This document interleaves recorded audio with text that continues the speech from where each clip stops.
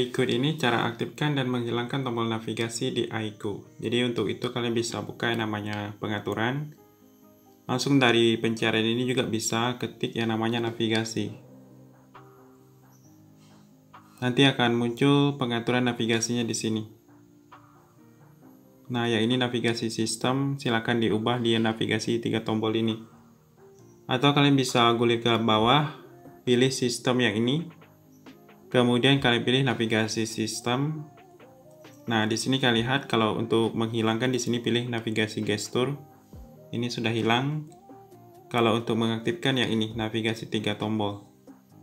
Nah, silakan dicoba kalau yang ini lebih lebih full screen layarnya. Untuk kembali untuk ke recent up seperti ini atau ke home screen. Jadi itu saja silakan diatur di sini semoga bermanfaat.